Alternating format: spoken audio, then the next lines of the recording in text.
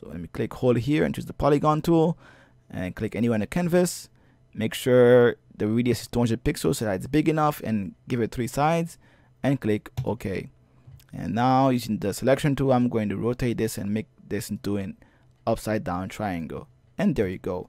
Now these two steps are very, very important. What you want to do is make sure you add an anchor point right here dead in the center.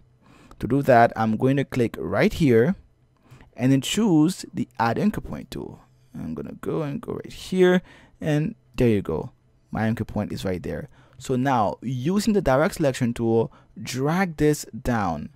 So click here or press A on the keyboard, then click there, click, click on the anchor point you created and using the uh, using the down arrow keys, drag this down and drag it down until it looks something like this. It doesn't have to be perfect, but it has to look like this.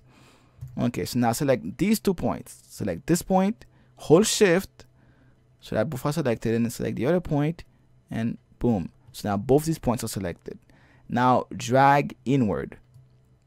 And there you go, there you go, until it looks like a heart. And voila, you have your heart. That simple. Now, of course, you might be wondering, uh, this is a good heart, but it's a bit too tall. To fix that, it's easy. Uh, simply select uh, the bottom anchor point and then move it up. And there you go.